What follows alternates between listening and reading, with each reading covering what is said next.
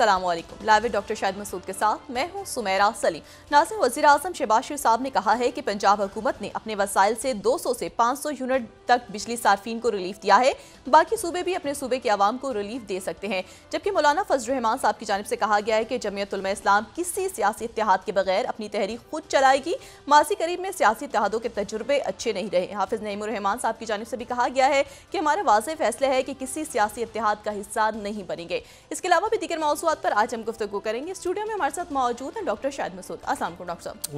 आपको डॉक्टर साहब वजी अजम शहबाज साहब की जानब से कहा गया है कि पंजाब हुकूमत ने अपने वसाइल से बिजली सार्फिन को रिलीफ दिया है विफाक ने इसमें हिस्सा नहीं डाला है। मतलब वसाइल से मुराद कौमी खजाने से दी है जेब से किसी कोई नहीं दे रहा पैसे। ये अवैश लगारी साहब का एक बयान मेरे सामने है अगर हम उसकी स्लाइड दिखा सकें। उन्होंने आज ये बात की है कि दो घंटे की लोड शेडिंग अगर बर्दाश्त कर लें तो पचास अरब का फ़ायदा होगा। ये एक फार्मूला है। तो अगर हम चार घंटे की बर्दाश्त करेंगे तो सौ अरब का होगा। और अगर हम आठ घंटे की लोड शेडिंग बर्दाश्त करेंगे तो दो सौ अरब का होगा। तो ये तो एक नया मतलब मीशत को ठीक करने का एक नया फार्मूला जो है वो सामने आया है। और 24 घंटे की करेंगे तो इतना फ़ायदा होगा। बहरहाल। लेकिन इसके साथ एक और बड़ी अजब सी बात है, और जिस पे हम तो बड़ा मुतमिन बैठे हुए थे कि भाई कम से कम ये जो बाकी मामला हैं मुल्क में ये पोलिटिक सोशल अनरेस्ट, महँगाई और ये सारे मामला, और आईएमएफ के साथ मामला तय हो गए हैं और बस सब कुछ ठीक लेकिन अब जो है, ये पता चल रहा है कि आईएमएफ के साथ हमारे मामला है ही नहीं। मतलब ये नहीं कि अच्छे हैं, बुरे हैं, वो असल में कहीं हैं ही नहीं, इस वक्त वो खला में है। अब ये मैं क्यों कह रहा हूँ? क्योंकि मुझे समझ नहीं आ रहा कि वो कहाँ पे है मामला आईएमएफ के साथ। मतलब आईएमएफ के साथ जो हमने अगले सैंतीस महीनों में उनसे कुछ छः सात अरब डॉलर लेने थे, इस साल हमने उनको पैसे वापस करने हैं और इस साल हमने उनको चौदह अरब कैश की सूरत में देने गालिबा और बाकी जो हैं वो हमने जो है वो कुछ उनको, कुछ रोल ओवर वगैरह होने थे दो ममालिक वो हुआ क्या है हमारा? आईएमएफ के साथ मामला ख़राब हो गए पाकिस्तान के दोबारा। तो जो इकॉनमी है, उस पर गहरी नज़र रखते हुए जो एनलिस्ट हैं तजिया कार माशी तजिया कार मेहताब हैदर साहब से पूछते हैं कि ये हुआ क्या है? अचानक। कि हमें पता चला कि आईएमएफ के साथ माहिदा हो गया है, ताखिर से हुआ है, खला में है ये क्या किस्सा है? मेहताब हैदर साहब सलामकुम जी वालेकुम अस्सलाम डॉक्टर साहब।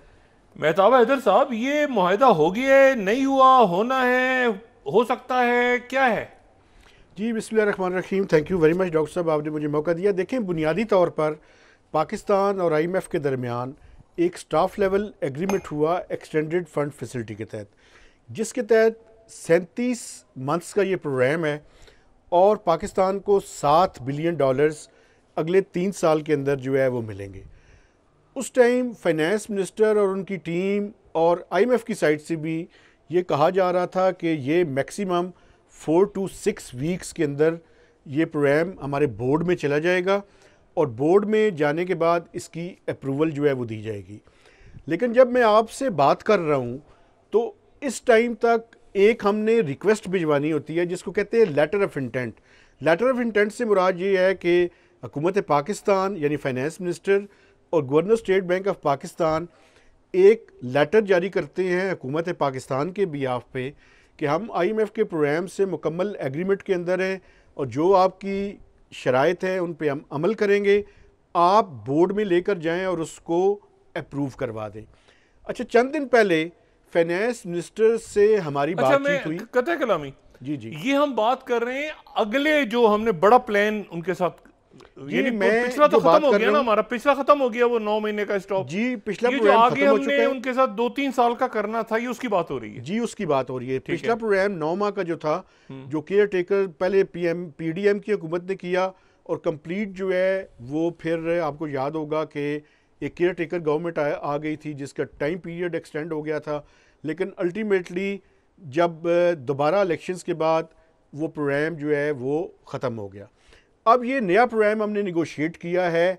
बजट के से पहले आईएमएफ की टीम आई बजट हमने पेश किया बजट के अंदर उन्होंने अमेंडमेंट्स करवाई। उसके बाद आपको पता है कि टारगेट्स बढ़ाया गया एफबीआर का टारगेट इतना बड़ा रखा गया।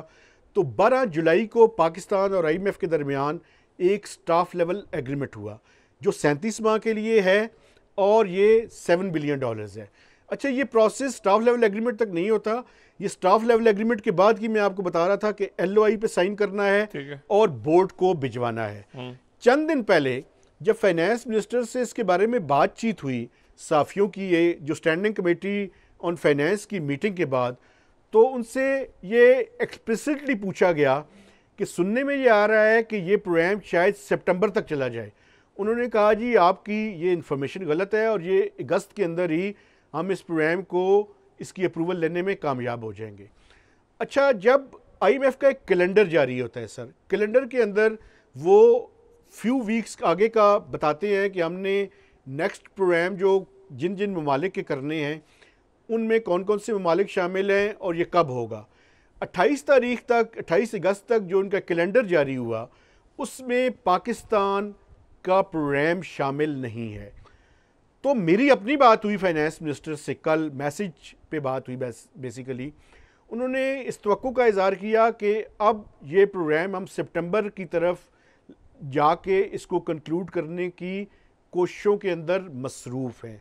तो ये वो सारी सूरत हाल है जो इस टाइम है। अब उसके पोलिटिकल कनोटेशन भी है और मैं दोबारा कहता कलामी। ये सारा जो बजट है जो आवाम के सरों के ऊपर टैक्स और टैक्स और एफबीआर और ये ये सारा बजट आईएमएफ ने बनाया है। हमने कोई एक कंडीशन उनकी ऐसी जो हमने ना मानी हो हमने जो उन्होंने कहा हमने मान लिया।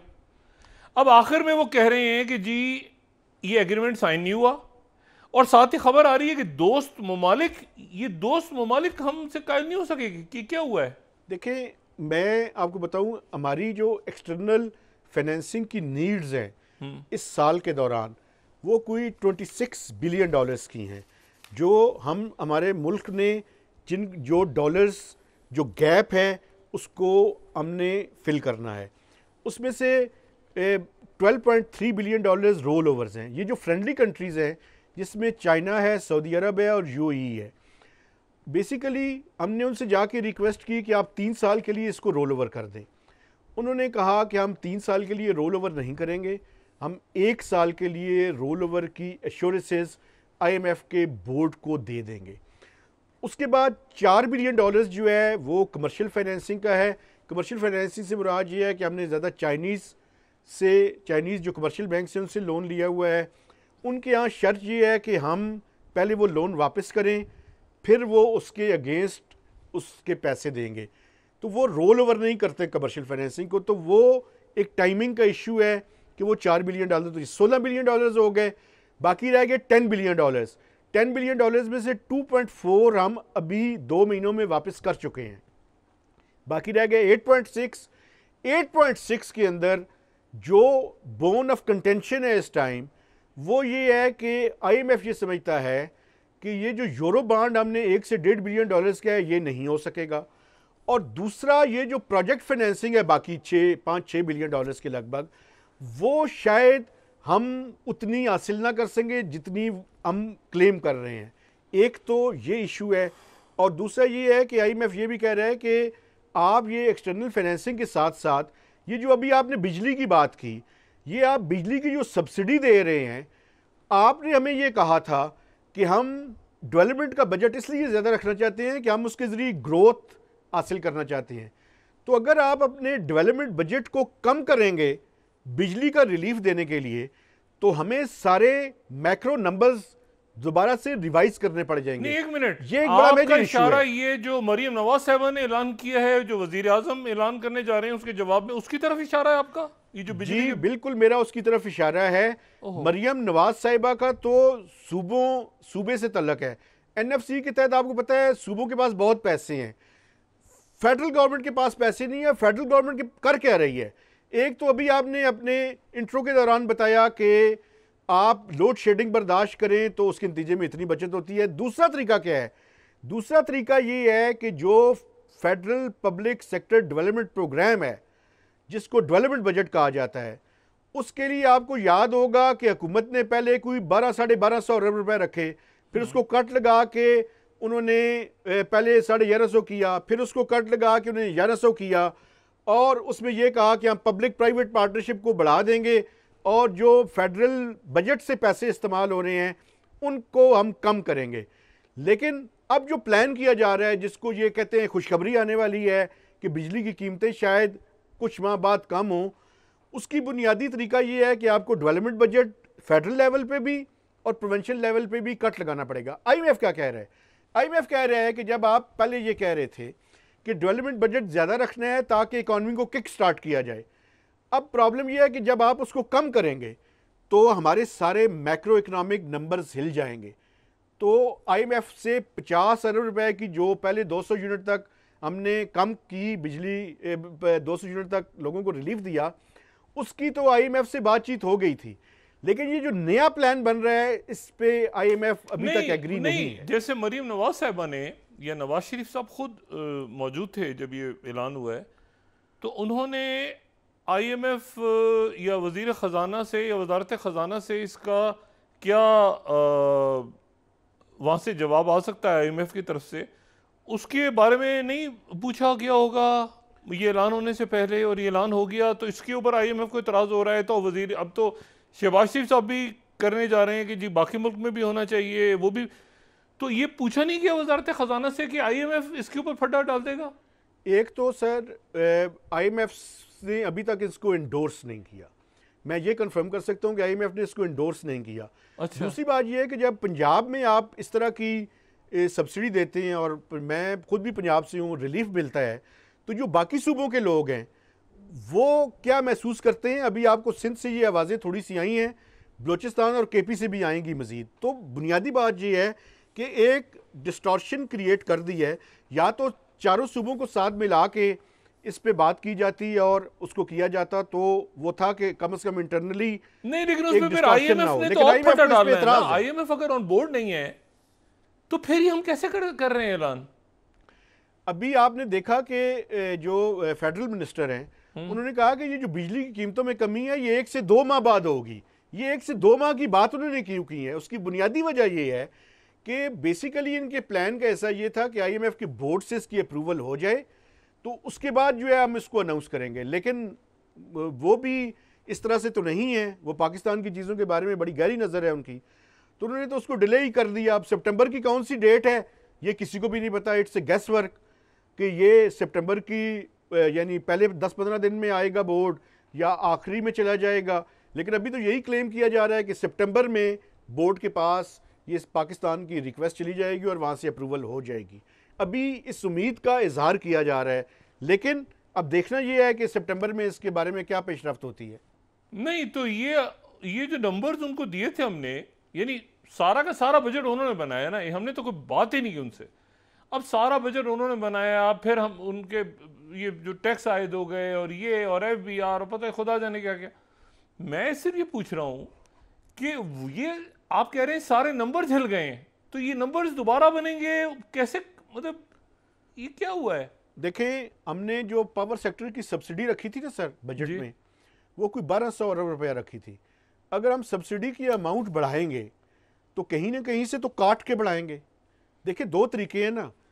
एक तरीका ये है कि या तो हम अपने टैक्स रेवन्यूज़ को या नॉन टैक्स रेवन्यूज़ को बढ़ाएँ या अपनी जो एक्सपेंडिचर्स हैं उनको कट करें।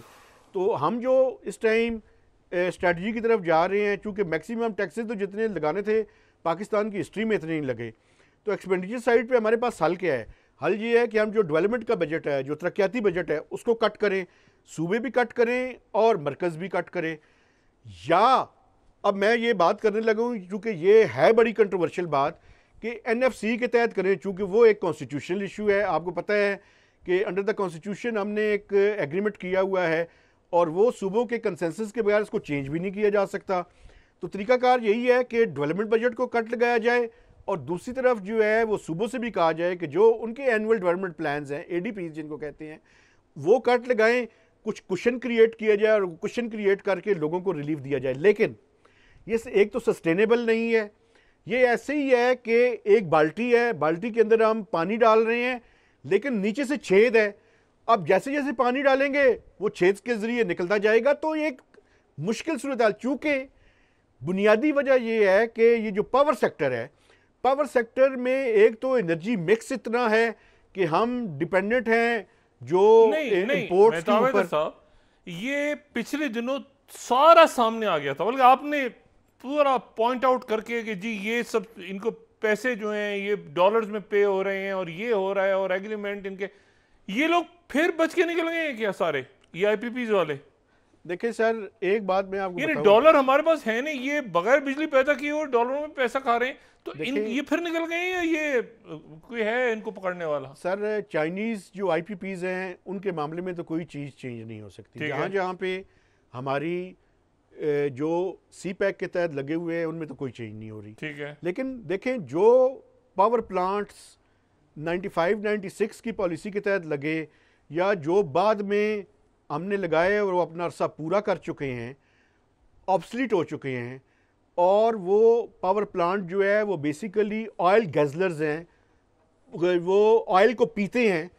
उन प्लांट्स पे तो मैं समझता हूँ पाकिस्तान के लोगों के साथ भी पाकिस्तान की स्टेट के साथ भी बड़ी ही ज़्यादा है कि अगर हम उनको कंटिन्यू करें। नहीं तो, तो क्या हुआ? वो तो वो वो तो plants बच के तो निकल गए हैं गालिबन एकदम से शोर उठा था ना कि भाई हाफिज नईम साहब आ गए तो कमेटियाँ बन गई तो डिस्कशन वो बच के निकल गए सारे और इधर आईएमएफ जो है वो उसके साथ मुहिदा नहीं हो पा रहा और वो उधर वो कीमतें जो हैं वो कम कर दी हैं उस पर भी इतराज उनको हो सकता है। तो ये फिर क्या? ये कहाँ चले गए अचानक माशी मामला? ये चौबीस अड़तालीस बहत्तर घंटों में। सर देखें बुनियादी तौर पर इस मामले पे आप देखिएगा कि कुछ आईपीपीस के कुछ यूनिट्स मैं ज़्यादा उसकी डिटेल में नहीं जाना चाहता ये ज़रूर है कि उनमें से कुछ ना कुछ से जान छुड़ानी पड़ेगी उसकी वजह ये है कि आप पड़ेगी या पड़, मतलब करेंगे मतलब पड़ेगी तो एक हम ख्वाब में रहते उसका हैं। उसका मैकेनिज्म जो है उस पर अभी आप देखिएगा कि चीज़ें अनफोल्ड होंगी चूँकि लग ये रहा है कि कुछ लोग जो सुप्रीम कोर्ट में भी गए हैं वहाँ पे भी एक दोबारा से चीज़ें लाइमलाइट के अंदर आएँगी और मज़ीद डिटेल्स जब शेयर होंगी तो एक चीज़ बड़ी आसानी से है कि कम अज़ कम पंद्रह बीस यूनिट्स ऐसे हैं कुछ सौ के लगभग हैं इस टाइम आई ओह। उनमें से पंद्रह से पच्चीस के दरमियान यूनिट्स ऐसे हैं जिनकी किसी तौर पे भी कोई गुंजाइश नहीं है कि उनको जारी रखा जाए ये पाकिस्तान की स्टेट के साथ पाकिस्तान के कंज्यूमर्स के साथ पाकिस्तान के साहब कुछ कुछ ऐसे रफली आपने कभी बैठ के इधर बहुत आपने लिखा है इसके बहुत आपने इसके ऊपर कभी ऐसे यूँ ही बैठ के आपको ख्याल आया कि ये अंदाजन कितना पैसा उन्नीस सौ चौरानवे से ये डॉलर्स की सूरत ले गए मुल्क से बाहर? ये कमा लिया इन्होंने। सर एक चीज़ मैं आपको बताऊँ ये जो कैपेसिटी रीपेमेंट्स है ना बेसिकली ये शुरू से प्रॉब्लमेटिक एरिया रहा है। हम्म, लेकिन ये 2013-14 के बाद ज़्यादा प्रॉब्लमेटिक हुआ है। चूँकि अब प्रॉब्लम है पहले 95-96 में जब लगे तो मियाँ नवाज़ शरीफ आपको याद होगा सैफुर रहमान साहब का एहतसाब शुरू हुआ था, फिर अबको का एक क्राइसिस रहा बड़ा। उस ज़माने में वो कहते थे कि ये बहुत ही गलत काम हुआ है। लेकिन उसके बाद जब उन्हें मौका मिला तो इन्होंने फिर वही शॉर्ट टर्म मसले का हल निकाला। कि जब आपको याद होगा 2013-14 में पीएमएलएन की हुकूमत बनी तो उन्होंने कहा जी लोड शेडिंग को ख़त्म करना अच्छा उससे पहले राजा परवेज अशरफ साहब का जब था तो वो शायद हो नहीं सका था जब वो हो नहीं सका था, नाम। से पुकारते थे वो सुप्रीम कोर्ट ने रुकवा दिया था लेकिन अच्छा।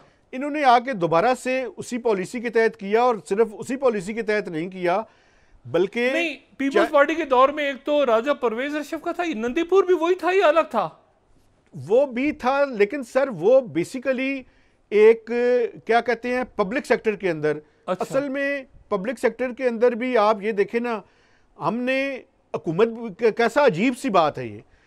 90s में वर्ल्ड बैंक के कहने पे हमने वापडा को अनबंडल किया वापडा को तोड़ा।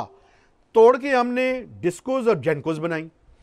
और जिन वो बेसिकली आइडिया ये था कि हम जेनकोज को भी और डिस्कोज को भी प्राइवेटाइज करेंगे ताकि पूरे का पूरा पावर सेक्टर प्राइवेट सेक्टर के अंदर चला जाए।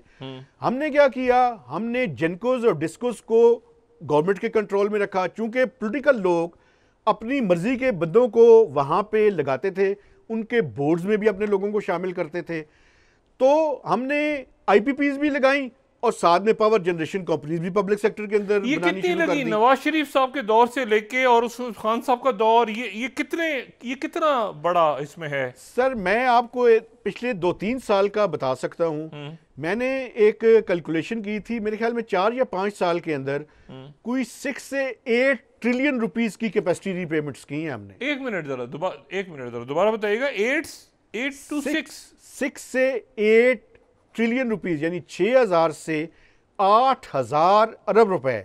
पिछले छः से सात साल में पाँच से छः साल में हमने कैपेसिटी रीपेमेंट्स की सूरत में अदा ये डॉलर्स में? नहीं ये ये रुपीज़ में है जी मैं रुपीज़ में बता रहा हूँ अच्छा।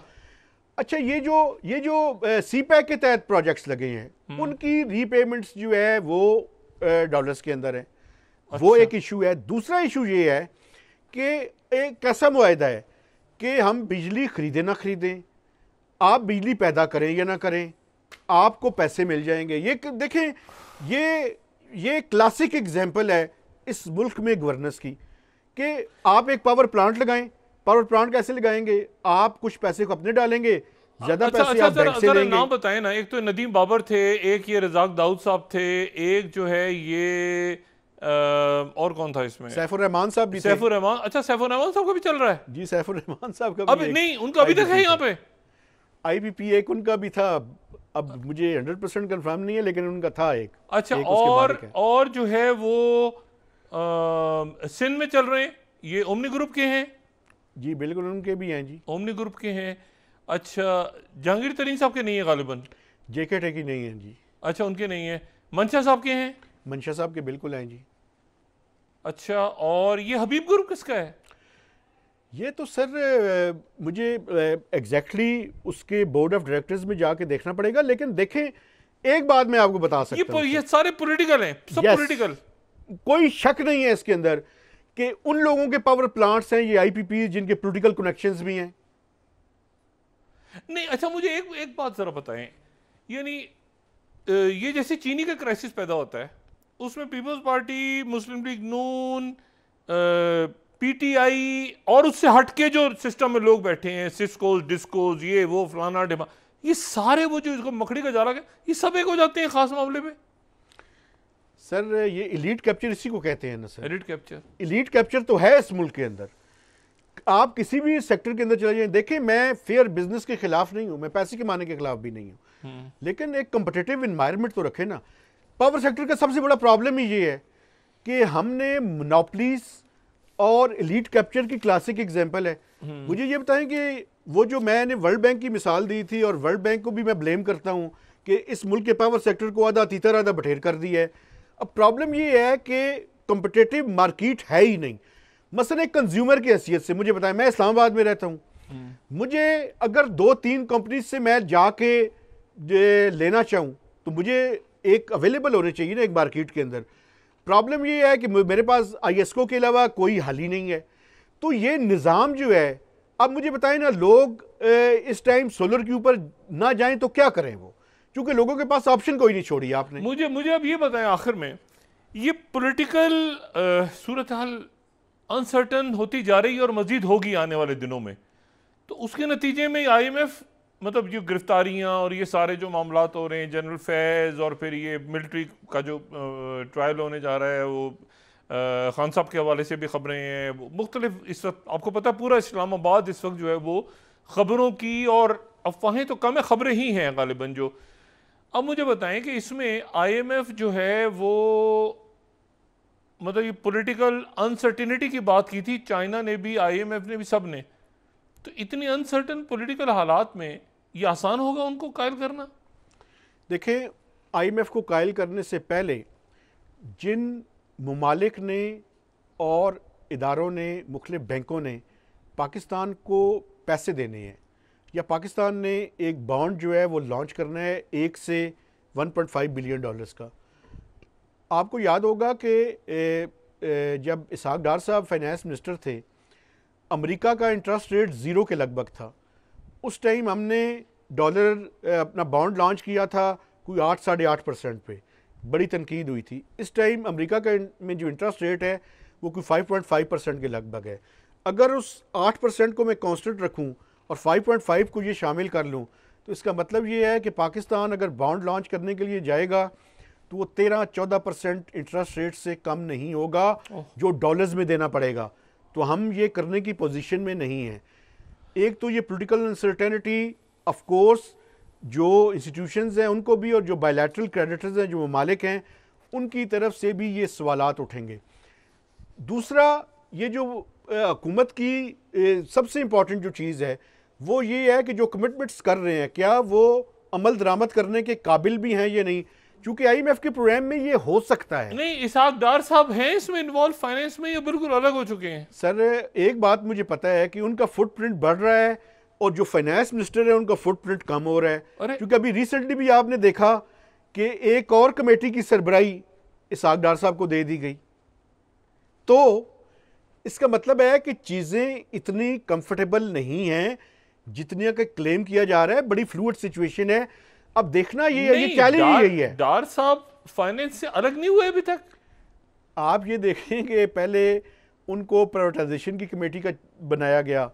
अभी पिछले दिनों एक और कमेटी नोटिफाई हुई है। उसका फिर उनको जो है वो इकोनॉमिक एक यूके के आए थे कंसल्टेंट उन्होंने एक रिवाइवल इकोनॉमिक रिवाइवल प्लान दिया। उस इकोनॉमिक रिवाइवल प्लान की स्क्रूटनी के लिए फाइनेंस मिनिस्टर की सरबराही में कमेटी नहीं बनाई है सागडार साहब की सरबराही में कमेटी बनी है।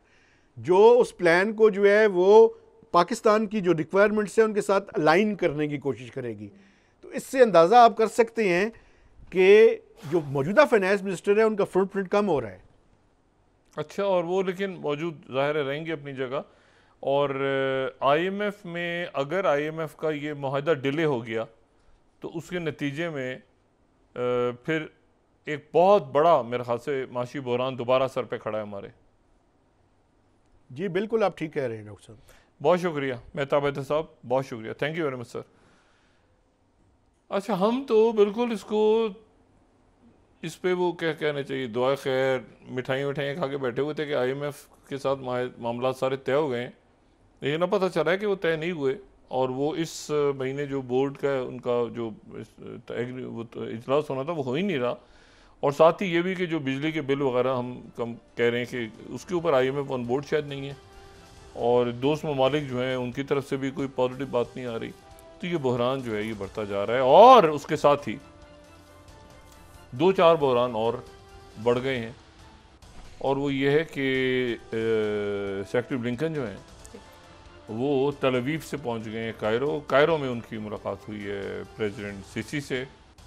और उसके बाद वो आज किसी वक्त फ्लाई कर जाएँगे कतर। और कल जो है वो मुजाकरात हतमी तौर पे होने जा रहे हैं। उसके साथ ही डेमोक्रेटिक नेशनल कन्वेंशन भी शुरू हो गया है, जिसमें प्रेसिडेंट बाइडन ने कैमिला हैरिस को नॉमिनेट कर दिया बाकायदा। लेकिन उसी दौरान उनके मुँह से एक जुमला निकला है गज़ा के बारे में, जिसको फिर बाद में क्लैरिफाई किया। उनके ख़िलाफ़ नारे वारे लगे हैं। कैमिला हैरिस ने उसे क्लियर किया है। लेकिन ये हमास इसके ऊपर अभी तक या ये सनवर की तरफ़ से कोई जवाब नहीं आया। और वो ये कह रहे हैं कि हमें वही माहा चाहिए जो कि प्रेसिडेंट बाइडन ने शुरू में किया था। ये नतन याहू ने अभी भी बीच में एक गड़बड़ डाली हुई है। अब ज़रा वक्फा ने तो ये ये रुका हुआ है अभी तक जो मामला है ना। नतन याहू ने कल कह तो दिया था कि हाँ मैं सब ठीक है सारा, लेकिन हमास कह रही है नहीं। वो हमें वो माहा ये जो बात कर रहे हैं कि सब कायल हो गए, ये हो गया, वो हो गया, इसमें वो बात हमें चाहिए जो कि प्रेसिडेंट बाइडन ने 31 मई की अपनी स्पीच में की थी पीस एग्रीमेंट के हवाले से। वक्फा उसके बाद बात करते हैं। नासिर वापस आते हैं एक छोटे से ब्रेक के बाद।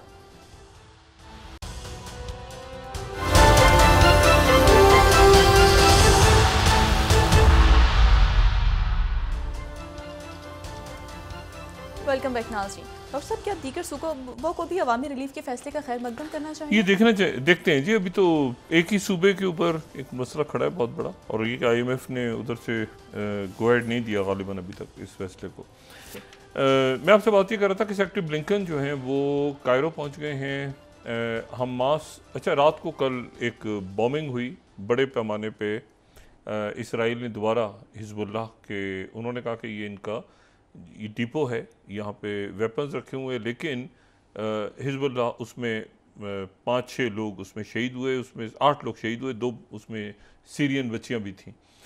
तो उसके बाद फिर 80 80 रॉकेट जवाब में हिजबुल्ला ने फायर किए। ये मैं बात कर रहा हूँ हिजबुल्ला और नॉर्थ इसराइल और हिजबुल्ला जनूबी लेबनन। तो एक बारिश हो गई और उसमें से कई गिरे कई वो आयरन डोम अब अब आयरन डोम भी बिल्कुल वो ख़त्म हो रहे हैं तकरीबन क्योंकि इत, इत, इतने मिज़ाइल और हुतीज़ की तरफ़ से ऐलान किया गया है कि हम एक पूरी बरसात जो है वो करने को मिज़ाइल्स की तैयार हैं। हम इंतज़ार कर रहे हैं कि इस चीज़ पर माहा हो जाए। अच्छा कल वो सुसाइड बॉम्बिंग भी हुई थी सारा। तो इस वक्त प्रेसिडेंट बाइडेन देखिए नेशनल डेमोक्रेटिक कन्वेंशन कल शुरू हुआ। कैमिला हैरिस को प्रॉपरली प्रेसिडेंट बाइडेन ने वहाँ पे सदारती उम्मीदवार के तौर पे नामजद किया।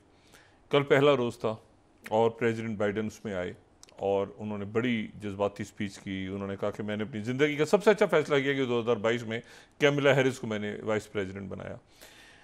और उसके बाद आ, उस, उसके बाद हिलरी क्लिंटन ने स्पीच की और वो भी उनकी शायद सबसे जज्बाती स्पीच थी जब तक जब से वो तकरीरें करने लगी। उनको 2016 वाली स्पीच याद आई कि फिर एक खातून के मुकाबले में ट्रंप खड़ा था उस वक्त। हिलरी क्लिंटन बमुकाबला ट्रंप और अब कमिला हैरिस बमुकाबला ट्रंप होंगे। तो उन्होंने ट्रंप को भी, उनके भी लत्ते लिए। तकरीर में कैमिला हैरिस को भी खूब उन्होंने तारीफ़ें की। बहुत उन्होंने कहा कि ये मेरे सारे जो ड्रीम्स हैं, ये कैमिला पूरे करेगी आके, क्योंकि ये खातून सदर होगी और ये सारा। और उसके आज जो जो है वो ओबामा आएँगे। आज उस कन्वेंशन में ओबामा आएँगे और ओबामा और कैमिला हैरिस का ये भी एक एक लंबी हिस्ट्री है बीस तीस साल पुरानी। लेकिन इसमें इशू ये है कि वो पहले जो है वो सिया फार्म या नॉन वाइट प्रेसिडेंट थे और ये कैमिला हैरिस जो हैं, ये अगर प्रेसिडेंट बन जाती हैं तो ये भी होगा। लेकिन जो बाइडन है, जो बाहर मुजाहरे हो रहे थे कन्वेंशन के बाहर मुजाहरे हो रहे थे फ़लस्तीन के हक में और इसराइल के ख़िलाफ़। लेकिन ये उतने ज़्यादा नहीं थे कि जो उन्नीस सौ अड़सठ में हुए थे। उन्नीस सौ में, यानी जब वो लिंडन जॉनसन थे तो उस ज़माने में जो है वो लिंडन जॉनसन तो ये वियतनाम वॉर के नज़र हो गए थे, वो, इलेक्शन से पीछे हट गए थे।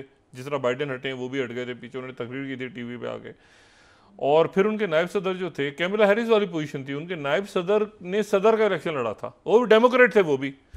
और वो थे हेम्फ्री तो उस ज़माने के अखबार अगर हम देखें तो निक्सन जीत गए थे। निक्सन इसलिए जीते थे कि बहुत मुजाहरे हो रहे थे और जो उनके वाइस प्रेसिडेंट थे लिंडन जॉनसन के, जो कि लिंडन जॉनसन हट गए। वो बाइडन वाली हालत हुई ना कि बाइडन पीछे हट गए वाइस प्रेसिडेंट आगे आ गए। तो उस वक्त ये हुआ कि वो जो है, वो उस ज़माने के अखबार देखें अगर हम तो निक्सन ने जनाब निक्सन जीत गए थे। निक्सन थे रिपब्लिकन, यानी निक्सन उस पार्टी के थे जिसके ट्रंप हैं। लेकिन यह है कि वो वियतनाम वॉर खा गई थी। अच्छा फिर अटॉर्नी जनरल इनके साथ खड़े हुए थे, आके वो उनको गोली लग गई रॉबर्ट कैनेडी को, वो बारह एक लंबी कहानी। तो लोग, कई लोग इसको उसे मुमासत दे रहे थे। इतने ज़्यादा वो बहुत वहाँ पर लाठीचार्ज हुआ था। वो कन्वेंशन का सत्यानाश हो गया था। उन्नीस के कन्वेंशन का सत्यानाश हो गया था। और वो सत्यानाश जो हुआ था पुलिस वो, वो मतलब वहाँ पे वाटर कैनन ये वो हंगामा वियतनाम वॉर और वो उसमें वो पूरा डेमोक्रेटिक कन्वेंशन ही तहरील हो गया था उसके नतीजे में वो रिपब्लिकन आ गए थे निक्सन आराम से। अब ये कि कई लोग इसको तशवी दे रहे थे लेकिन बहरहाल कैमिला हैरिस, वो जो बाइडेन को जेनोसाइड और ये नारे वारे लग रहे थे तो कैमिला हैरिस की प्रो कैमरा है, कैमिला हैरिस नारेबाजी हो रही थी। अब यह है कि ये उस वक्त सारा हो रहा था जब बाइडेन जो है वो पता नहीं अमेरिका इस वक्त कौन चला रहा है।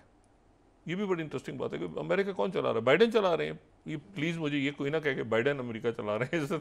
अमेरिका कौन चला रहा है, ये किसी को नहीं पता। तो वो जो है वो बाइडेन ने ऐसे चलते चलते कहा कि ये जो माहदा तो साइन हो जाता इसके हमास की वजह से नहीं हो रहा। उस हमास ने बड़ा सख्त रिएक्ट किया उसने। उसने कहा, ये बिल्कुल इनकी यादाश्त हो गई है क्या? हम तो सबसे पहले मान गए थे, ये तो इसराइल की तरफ़ से कंडीशंस आई थी और ये फिर हमें धोखा दे रहे हैं दोबारा। उसको फिर आके सेक्रेटरी ब्लिंकन ने ज़ाहिर है कि यहाँ पे कवर किया, क्योंकि सेक्रेटरी ब्लिंकन इस वक्त एक difficult diplomacy most difficult diplomacy के आप सीज फायर करवाएँ। तो जंगबंदी तो उधर से वो जो है ये आज कायरा में है। फिलाडेल्फी कॉरिडोर के ऊपर वो कह रहे हैं कि फ़ौज रखेंगे लेकिन मेरा ख्याल है वो नहीं रख पाएँगे क्योंकि इसीलिए कायरा में बात हुई है। उनकी बड़ी ज़बरदस्त मुलाकात हुई है। इनकी जो मुलाकात हुई ना कायरा में उस मुलाकात की अगर आप पिक्चर देखें तो उसमें प्रेसिडेंट सीसी बैठे हुए हैं और उसमें बैठे हुए हैं एक तरफ़ जो है सेक्रेटरी ब्लिंकन बैठे हुए हैं। लेकिन दूसरी साइड भी शख्सियत बैठी है ये अब्बास कामिल है। Sorry foreign minister foreign minister के साथ इस तरफ़ जो बैठे हैं ना, ये, यानी फॉरन मिनिस्टर सामने बैठे हैं, और जो इधर बैठे हैं ना, ये अब्बास कामिल है। ये उनके इंटेलिजेंस चीफ हैं। ये वो हैं जो कि मुजाकर में इजिप्ट की तरफ़ से शरीक होते रहे यानी फॉरन मिनिस्टर के साथ। अच्छा ये भी मौजूद थे वहाँ पे। और काहिरा जो है वो एक मरकज़ बनने जा रहा है क्योंकि इसराइल की टीमें आज पहुँच रही हैं। कल वो फाइनल सारा वहाँ पे हो रहा है। तो सेक्रेटरी ब्लिंकन लेकिन इस दौरान काहिरा में रहेंगे। सॉरी दोहा में रहेंगे। वो नहीं चाहेंगे कि मुजाकर जब हो रहे हों तो वो वहीं पे हों।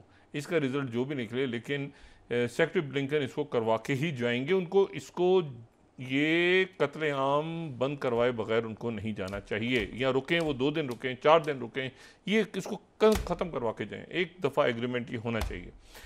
दूसरी जो बात है, वो ये है कि इसमें जो रशिया रशिया और यूक्रेन, देखिए मैंने कल भी आपको बताया था, मैं दोबारा ही बता रहा हूँ, ये मैप अगर हम दिखा सकें कि ये ऊपर से ये गए जनाब के साहब, ठीक है, ये साउथ ऑफ़ रशिया में इन्होंने अटैक किया। रशिया जो है, वो आया ईस्ट यूक्रेन और रशिया ने आके यहाँ से इनको घेर लिया। अब ये जो है, ये ट्रैप हो गया है यूक्रेन ये प्यूटन ट्रैप कह लें, इसको प्यूटन ने इनको ट्रैप करके वो फौज अंदर जो है, और वेस्टर्न मुल्क कोई किसी किस्म की दिलचस्पी उनको जेलेंसकी में नहीं है, क्योंकि उनका ये ख्याल है कि जेलेंसकी ने अपनी तरफ़ से हीरो बनने की कोशिश की है। और ये किसी किस्म का कोई फार्मूला नहीं था कि वो कस के इलाके में वो एक बफर जोन कायम करेंगे। अब ये सारा चल रहा है मामला। उधर बड़ी इंपॉर्टेंट डेवलपमेंट हुई है चाइना में। वियतनाम के प्रेसिडेंट वियतनाम। वियतनाम अमेरिका के रिलेशंस को जरा जेन में रखें पचास साल हो गए हैं वियतनाम से अमेरिका को निकले हुए। लेकिन तीस साल हुए ताल्लुकात अमेरिका और वियतनाम के बाद हुए तो ये जो है ये वहाँ पर एक बड़ी जो इम्पोर्टेंट डेवलपमेंट हुई है वो ये है कि वियतनाम और चाइना के दरमियान डिफेंस स्ट्रेटेजिक कॉम्प्रिहेंसिव डिफेंस जो है वो उनके मामला हो गए हैं। और ये मैं आज रिपोर्ट आई है Center for Strategic and International Studies की। ये आज की रिपोर्ट है। आज से मुराद ये कि 19 20 ये, ये लेटेस्ट ये पच्चीसवीं स्लाइड अगर हम देखें ये दुनिया का एक बड़ा थिंक टैंक है, जो लोग जानते हैं, उनको पता है। वही कह रहे हैं कि एन इनडिस्पेंसिबल अपग्रेड ये है 19 तारीख को रिलीज़ हुई। है बहुत लंबी रिपोर्ट है, लेकिन ये पूरी रिपोर्ट पढ़ने वाली है। जो लोग भी थोड़ा सा इसमें इंटरेस्टेड हैं इंडो पैसिफिक एशियो पैसिफिक में, वो पूरी रिपोर्ट पढ़ें। ये वो ये कहते हैं कि जी, ये जो US Vietnam comprehensive strategic partnership है। यानी ये ऊपर के लेवल पे डिफेंस क्योंकि दोनों मुल्कों के जो हैं, वो डिफेंस मिनिस्टर की मुलाकात हुई है। ठीक है, एक तो चाइना के, आपको बताया ना कि वियतनाम के जो प्रेसिडेंट हैं, वो सबसे सब पहला दौरा वो चाइना का कर रहे हैं, लेकिन असल जो मीटिंग हुई है, वो हुई है दोनों मुल्कों के डिफेंस मिनिस्टर्स की, और ये कॉम्प्रिहेंसिव स्ट्रेटेजिक डायलॉग में चले गए हैं। अच्छा इसमें जो आज़रबाईजान ने बाकायदा ब्रिक्स में शामिल होने की दावत दे दी है। दरख्वास्त कर दी है। ये जो प्यूटन आए थे आज़रबाईजान वो आज़रबाईजान कह रहे हैं ब्रिक्स में जा रहे हैं। हम इंतज़ार कर रहे हैं कि हम कब जाएँगे। मैं हर प्रोग्राम में बात करता हूँ कि पाकिस्तान को जाना चाहिए फौरी तौर पर दूसरी जो बात है, वो ये है कि जो, अब फिर वही जंपिंग इन फ्राइपन वो उधर से यूक्रेन को घेर लिया, ये रशिया ने, और इसको अमेरिका की कोई आशीर्वाद नहीं। अमेरिका की फ़र्स्ट प्रायोरिटी है इस वक्त कि ये मिडल ईस्ट सेटल हो। किसी तरह से, मिडली सेटल हो, हुतीज, ईरान, ये भिजबुल्ला ये उधर। अब ये जनाब, दस घंटे ट्रेन में, दस घंटे की ट्रेन है जो पोलैंड से पहुंचेगी केव उसमें Indian prime minister Modi, America के कहने पे, वो जाएँगे और जाके जप्पी डालेंगे। और ये उस वक्त डालेंगे जबकि रशिया ने उनको इस बकौल ये western think tank strategic defeat दे दी है यूक्रेन को। ये घेर लिए। और ये ये देखें पीस की तरफ़ अमेरिकन चाह रहे थे कि एक खामोशी से कतर में या अफ्रीकन यूनियन या सऊदी अरेबिया या चाइना कोई भी जान छुड़ाएँ इस मुसीबत से। ये जो जंग फैलती जा रही है। और ख़ास तौर पे जब वो जर्मनी कह रहा है कि इसके पीछे यूक्रेनियंस थे नॉर्थ स्ट्रीम पाइपलाइन और ये सारा। तो उन्होंने कहा, जान छोड़ो उससे जाने से पहले ये डेमोक्रेट्स के लिए बड़ा ज़रूरी है कि ये दोनों इश्यूज़ को रिजॉल्व करवाएँ। और ट्रंप अगर आ गया तो वो फिर पता नहीं यूरोप का क्या हाल बनेगा। तो सब इस वक्त है कि अपने अपने को संभालें। इसमें जनाब प्राइम मिनिस्टर मोदी जो है, ये पहुँच रहे हैं जनाब जनिस्की से मिलने दो घंटे के लिए। दस घंटे की ट्रेन है, दो घंटे मिलेंगे, जब भी मारेंगे वापस आ जाएँगे। अमेरिका नहीं खुश होगा। मुझसे आप लिखवा लेंगे अमेरिका अमेरिका सिर्फ़ उस पार्टी के हाथ में देगा ये मामला जो पार्टी दोनों फरीकों को बिठाने में कामयाब होगी। देखें ये इन्होंने कहा था ना, ये स्विट्जरलैंड के अंदर, कि हम रशियंस को नहीं बुला रहे, स्विट्जरलैंड में कोई भी नहीं गया, पाकिस्तान भी नहीं गया, चाइना भी नहीं गया।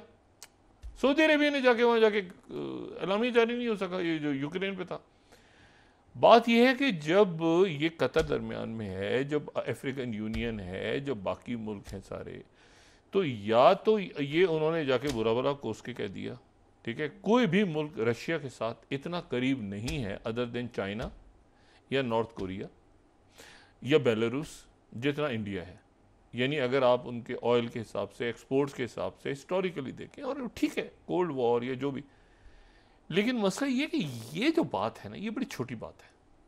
ये वो बात थी जिस पर क्लियरली इनको कह देना चाहिए था कि जी इस वक्त नहीं, ये कोई टाइम है बोला मतलब इतना हमने इतना बड़ा हमने स्टांस लिया हुआ है इतने अरसे से हम आपको कहते रहे हैं कि नहीं जी, हम तो बैलेंस रखेंगे, हम तो ऑयल लेंगे, सब मतलब इस मरहले पे जाके मतलब ये अब हम मतलब जंग चल रही है, ज़रा थोड़ा ठीक हो जाए मामला तो हम इसको पोस्टपोन कर देते हैं, थोड़ा आगे ले जाते हैं, ज़रा सेटल डाउन हो जाए चीज़ें। हम पोजीशन में इंडिया पोजीशन में नहीं है। भाई चाइना नहीं है मिडल ईस्ट नहीं है अफ्रीकन यूनियन नहीं है, वो उनके इलाके में घुस के कह रहे हैं कि हम यहाँ बनाएँगे बफर जोन तो इस वक्त और इतनी घमसान की इन्होंने घेर लिया चारों तरफ़ से। इस वक्त तो जाके जो है वो ओ, मेरा ख्याल है मैं इस पर मज़ीद कुछ नहीं कहना चाहता मैं कमेंट दे चुका हूँ और मैं इसको फॉलो करूँगा कि इसका क्या इस पर अमेरिका खुश नहीं होगा। किसी ये बिल्कुल स्ट्रेट एक वर्ड जाना चाहिए था। पता नहीं क्या हो गया है मतलब आप यकीन करें पहले जब वो इतना प्रेशर नहीं था या था शायद ज़्यादा तो इंडिया ने एक पॉलिसी ली। इस वक्त वो देख रहे हैं कि जी बांग्लादेश हो गया, ये हो गया, वो हो गया तो अब कहीं वो बिल्कुल नाराज़ ना हो जाए तो बिल्कुल वो कहते हैं, वो पीछे बिल्कुल ही गिर के तो दस घंटे पोलैंड में एक ट्रेन में सफ़र करेंगे। अच्छा ट्रेन में वो सफ़र, वो तो इसलिए सफ़र करते हैं ट्रेन में कि उनको तो ख़तरा होता है कि अटैक ना कर दें रशिया। भाई, बाइडन और ये सारे जो लोग हैं, ये तो बड़े सीक्रेसी में सफ़र करते हैं। तो प्रेसिडेंट मोदी तो जहाज़ में जाए ना बैठ के, या गाड़ी में जाए बैठ के मतलब इनको तो रशिया नहीं अटैक करेगा लेकिन कितनी अजीब कितना अजीब सा एक मामला है। भाई या तो आपकी टर्की वाली पोजीशन हो ना। भाई टर्की जो है उसने इस्तांबुल में एक डायलॉग करवाया। कतर ने कर... ये तो बिल्कुल एक ऐसी मूव है जो और इतने गलत टाइम पे मूव है कि मेरा ख्याल है कि मैं नहीं समझता इसको। फ़ायदा होगा और इसको ये नहीं करना चाहिए था। बाकी फैसला उन्होंने करना है। हम मैं तो इसको कोई इसके कोई और पहलू भी हैं मैं अभी कोई डिस्कस नहीं करना चाह रहा। जेन में बहुत से सवाल उठ रहे हैं। लेकिन मैं आपको बताऊँ, ये बिल्कुल jumping in the fry pan जैसे वो कूदे थे ना वहाँ पे मिडल ईस्ट में, बिला जवाब बिला जवाब। वहाँ पे वो छोटे छोटे क्लिप्स इनके घूम रहे हैं अभी भी। वो बाद में आप देखें, पूरा ये मिडल ईस्ट ये मेरा ख्याल से समझते नहीं है अभी तक आर एस एस या बीजेपी बीजेपी वाले, कि वहाँ जो मिडल ईस्ट के अंदर जो है वो इनका कूदना इस वक्त इसराइल की फेवर में, वो उसका क्या सूरत बनी है और इसराइल को वहाँ पर जो इस्लामिक क़वतें सारी जमा हो रही हैं और फिर अफगान, फिर जो बांग्लादेश के हालात हैं बड़ा संभल के चलते हैं। इस वक्त आप यूक्रेन जा रहे हैं। मतलब एक आपका और प्यूटन, इनके साथ रहा है प्यूटन कई मामला पे शी जिनपिंग से इख्तलाफ भी प्यूटन ने किया इंडिया के ऊपर। लेकिन अब ये है कि बस ठीक है, अब इनकी पॉलिसी है तो है। वो आज़रबाईजान और प्यूटन के दरमियान जो मामला हुआ है नॉर्थ साउथ साउथ कॉरिडोर में उसमें इंडिया नहीं है। उसमें जो ईरान वाला ज़िक्र है उसमें इंडिया नहीं है। हालाँकि नॉर्थ साउथ कॉरिडोर जो आज़रबाईजान और मॉस्को ये वो था जो चाबार से शुरू होना था। इन्होंने ईरान का डिस्कस किया है लेकिन इंडिया का डिस्कशन नहीं हुआ उसमें। जी। बहुत शुक्रिया डॉक्टर साहब। नाजिन के साथ ही आज का प्रोग्राम अपने अख्ताम को पहुँचा। मुझे सुमेरा सलीम को इजाज़त दीजिए। अल्लाह निगेबा जी डॉक्टर साहब। अपने दोस्तों रिश्तेदारों को नवा के लूँगा सब ख्याल रखिएगा। हाफिज़।